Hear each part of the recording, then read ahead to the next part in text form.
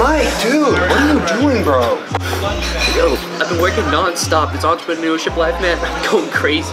No, it's because you're not sleeping, you're up all night, like, easy on the pre-workout, dude. I haven't slept in like two days. I haven't seen anyone. I got too much to do. I, I think I need something more stable. Like an office job? I might have to. Dude, sounds great and all, but who in God's name is gonna hire you? I'm the same guy when you meet me in person. Got drunk in the car, now your boys. Hey, I'm Conor Holway. Mike Rosa. And listen, we're just two hot dudes trying to throw another event together.